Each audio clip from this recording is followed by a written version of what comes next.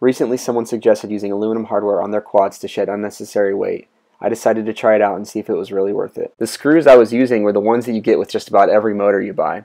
They come in 5mm and 7mm and have small button heads and are quite easy to strip out. They also use the 2mm socket drivers.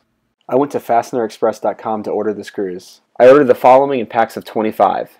M3 6mm socket head for most of the frame and motor screws, M3 8mm socket head for mounting through the thick bottom plate, and M3 flathead screws, just in case I wanted to drill out the bottom of the frame to make the bolts sit flush.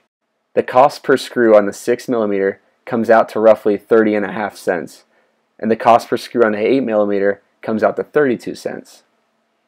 I used 24 6mm screws on this quad, which runs about $7.32, and I used four 8mm screws, which cost $1.28. So in total, to switch out all the screws, it's going to cost me $8.60.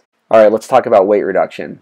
The starting weight for this quad was 404 grams. After replacing the top 8 screws in the top pod, I was down to 401 grams. After replacing the 16 motor screws and then the 8mm bottom plate screws, I was down to 397 grams. So basically I took off 7 grams for roughly $8.60. Is it worth it? I guess that's up to the individual to decide. If you're racing competitively for cash and prizes, I think every gram helps.